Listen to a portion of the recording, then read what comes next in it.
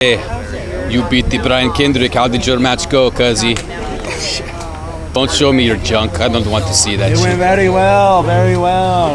I mean, are you surprised, Sasha, that I beat beat Brian Kendrick? I train with you. We, we train with Evgeny, so we train hard. I know you're going to win every time you go out there because you are a champion like Sasha. You're you're a great wrestler, Che. That is why you you and me were going to run this shit someday. Yes, gracias, gracias. So that's a warning to all of you out there.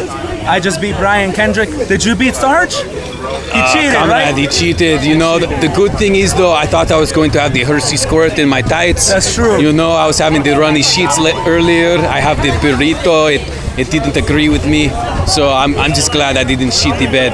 You Well, know, you know what? That's a win in my books. it's very much That's a win. And so I beat another him. win for the revolution. I beat him like a pussycat too the whole time, and then he needed to cheat to win. So I call it a win. He, the ref needed to carry him out like a little girl. So yeah, I That's a say win for us, I then. win. Yes, we always Ganamos, win. revolución siempre gana. We're always over, cuz. Perfect.